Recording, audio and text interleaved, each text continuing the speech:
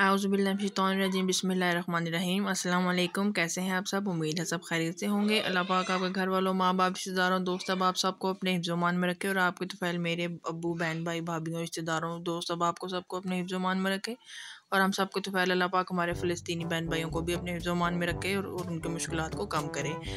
तो जनाब, सर्दियों का आगाज़ हो चुका है और बारिश हो रही है weather is very very pleasant तो आज जो मैंने डिश बनाई है, बहुत ही यूनिक और बहुत ही मैजिकल रेसिपी है इंस्टेंट रेसिपी है, एकदम से तैयार हो जाएगी। और अगर आपके घर में मेहमान आ जाते हैं या आपने कभी अपने लिए भी मेन्यू चेंज करना है तो आप इसको ज़रूर ट्राई कीजिएगा और मुझे ज़रूर बताइएगा कि आपको कैसी लगी है। तो ये है जनाब ज़ीरा राइस विद चिकन जो बोनलेस चिकन है, उसका tikka. Jeera rice with boneless chicken tikka. तो इसको आप सैलड के साथ खाएँ थोड़ा सा साथ दही लें, बहुत ही मज़ेदार और बहुत ही ईजी और बहुत ही जल्दी बन जाने वाली रेसिपी है। इस वीडियो को एंड तक ज़रूर देखिएगा और आपने ज़रूर इस वीडियो को भी लाइक करना है और मेरे चैनल को भी ज़रूर सब्सक्राइब कर दीजिए और इस वीडियो को एंड तक देखिए ताकि आपको अच्छी तरह से पता चल सके। तो ये जनाब मैंने ले लिया था हाफ़ के जी चिकन इसमें जाएगा एक कप दही लहसुन और अदरक का पेस्ट और लीमू और मसाले में कलौजी जो है नमक पीसी लाल मिर्च, हल्दी और थोड़ी सी काली मिर्च।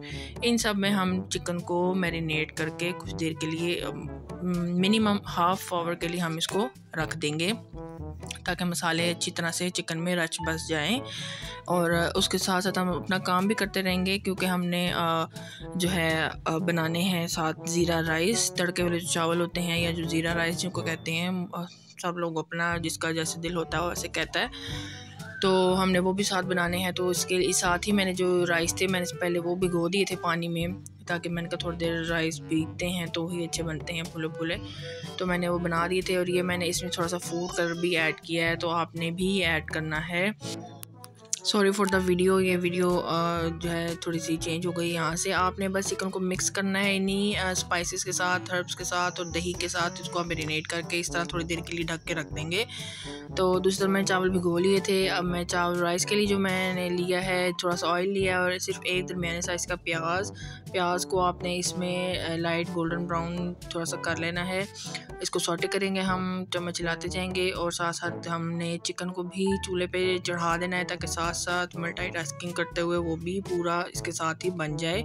हमें ज़्यादा टाइम नहीं लगे, ऐसे ही जल्दी बनेगा। पंद्रह से बीस मिनट में ये रेसिपी तैयार हो जाती है। इस वीडियो को एंड तक ज़रूर देखिएगा। आपको बहुत पसंद आएगी।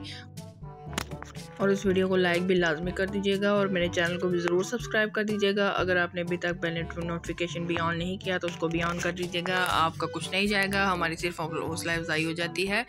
और वैसे भी तो इतने सारे चैनल्स आप देखते ही हैं। देखते रहते हैं हम, इतनी वीडियो से चलने कोई नहीं, एक दूसरे का भला करते हैं। तो जनाब, आप देख सकते हैं ये प्याज जो है, ये डार्क हो रहा है कलर पकड़ रहा है और साथ दूसरा मैंने तो साथ दूसरी तरफ़ मैंने ये चिकन के लिए ऑयल लिया है थोड़ा सा और उसमें मैंने चिकन जो है, दही समेत सारा ऐड कर दिया है। अब जब देख सकते हैं, प्याज हमारा रेडी हो गया इस टाइम पे इसमें मैंने ज़ीरा ऐड कर दिया था। समटाइम्स मैं वीडियो बनाना भूल जाती हूँ। तो इसलिए फिर मैं वीडियो में ही आपको ये बात बता देती हूँ। अब जिम जो चिकन है, उसको भी हम मुसलसल जो है साथ बनाते रहेंगे और चावल भी साथ रेडी होते रहेंगे। इसमें मैंने ज़ीरा और नमक ऐड किया था और ये अब मैंने उसमें जितना चावलों से थोड़ा ज़्यादा पानी है, मैंने वो ऐड कर दिया था।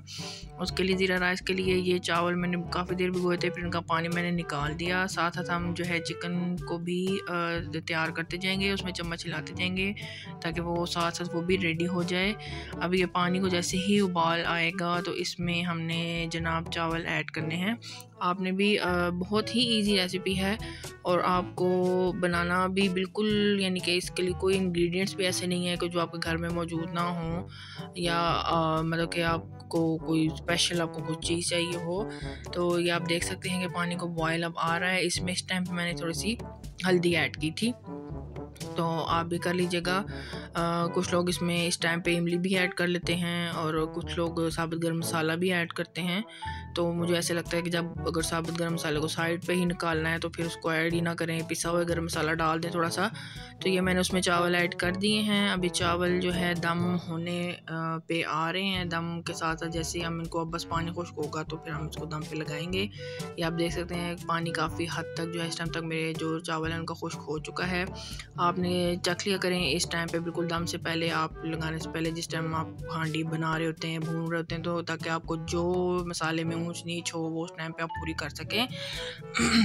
तो मैं इतनी एक्सपर्ट बन के आपसे बातें कर रही होती हूँ और मैं सोचती भी हूँ कि मैंने वीडियो में क्या क्या बोलना है कब समटाइम मैं लिखती भी हूँ क्योंकि मुझे ऐसे लगता है कि बीच में आ, मैं ना अटकने लग जाती हूँ कि मैं क्या बात करूँ मैं क्या कहूँ।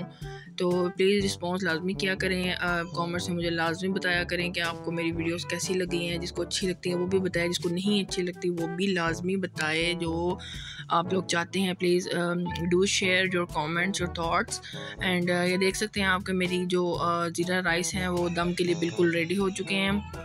अब बस मैंने इनको दम लगाना है और दूसरी चिकन है, उसका भी जो दही का पानी था, वो ऑलमोस्ट बस अब एंड पे ही है। अब इतना ज़्यादा टाइम और नहीं रह गया है। ये इतना ही इसको टाइम लगा था जितना ये वीडियो है, जितनी देर की।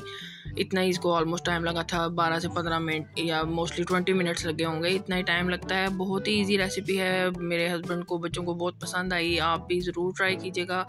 और जो है ना, मुझे कॉमेंट्स में ज़रूर प्लीज़ बताया करें कि आपको लोगों को कैसी लगी। तो ये आप देख सकते हैं कि जो मेरे राइस हैं, ये बिल्कुल रेडी हैं। इसको मैंने दम लगा दिया है। अब हम चिकन की तरफ़ आएँगे, हम जो स्टोव जो है वो उसके तेज़ कर देंगे। इसको उस टाइम पे ताकि इसके जल्दी से साथ साथ पानी जो है राइस के साथ ही ये भी रेडी हो और खुश्क हो जाए। तो जो है आप देख सकते हैं कि ऑयल जो है वो सेपरेट होना लग गया है। हमने इसको बिल्कुल भी ड्राई नहीं करना है। इसको थोड़ा सा हम थोड़ा सा ऐसे ग्रेवी सी छोड़ेंगे कि अगर कोई रोटी के साथ खाना चाहे तो वो भी इसके साथ खा सकता है, दही और सैलड के साथ। बहुत ही मज़े की लगती है।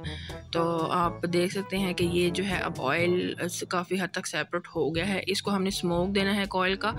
तो आपने जो है कोयला ले लेना है और उसको, जैसे आपको पता है कि उसको चूल्हे पे गर्म करने के बाद और उसको हमने इसको, उसको स्मोक देना है ढक के। तो ये आप देख सकते हैं कि जो ऑयल है वो बहुत अच्छी तरह से सेपरेट हो गया है। इसका। और इस चम्मच चलाते रहें ताकि नीचे नहीं लगे मोस्टली लगता नहीं है।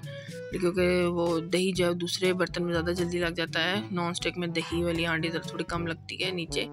तो बस आप नीचे में छिलाते रहें ताकि जितना आप डिज़ायर जितना इसको ड्राई करना चाहते हैं, उतना ये हो जाए। और इतनी देर में चावल भी हमारे साथ साथ हो रहे हैं, दस से बारह मिनट का दम बहुत होता है क्योंकि चावल भीगे हुए थे पहले। तो ये अब आप देख सकते हैं कि ये ऑलमोस्ट डन है, बिल्कुल। और इसको हमने अब देना है स्मोक तो ये देख लें आप ये मुझे बस इतना ही रखना है इससे ज़्यादा मैं ड्राई नहीं करूँगी। आपने अगर करना भी है तो आप प्लीज़ कर लीजिए। ये मैंने कोयला जो है वो रखा हुआ था चूल्हे पे उसको जलाने के लिए।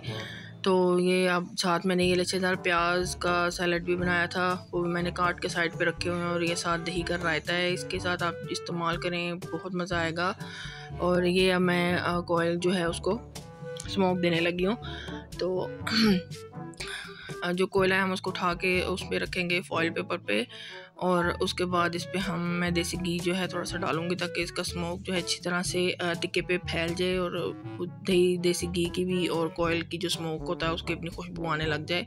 तो ये देख लें जनाब मेरी गलती। मैंने जैसे पहले भी आपको कहा है कि सब कोई भी परफेक्ट नहीं होता। पता नहीं कितने टेक्स के बाद जो है, जो हम देखते हैं कि बड़ी बड़ी अच्छी वीडियोस हैं, वो बनती हैं। अब देख लें, मैं इधर ये सोच रही थी कि यार, ये इधर स्मोक क्यों नहीं आ रहा? स्मोक क्यों नहीं आ रहा? और अब मेरा फिर एकदम से मेरे दिन में आया कि कोयला तो जल रहा है अभी। कोयले को बुझाऊँगी तो स्मोक आएगा। फिर मैंने कोयले को फूक से बुझाया था तो उसके बाद स्मोक आया था। तो ये जनाब, मेरे चावल भी बिल्कुल रेडी हैं और ये मेरा जो है बोनलेस चिकन टिक्का वो भी बिल्कुल रेडी है। तो do try this at home आपको बहुत पसंद आएगा. And do share your thoughts in the comments और ये देख सकते हैं आप कि ये कितना ही मज़ेदार लग रहा है देखने में. ज़रूर बनाइएगा, अपना ख्याल रखिएगा. नेक्स्ट वीडियो में मिलेंगे. तब तक के लिए अल्लाह हाफिज़.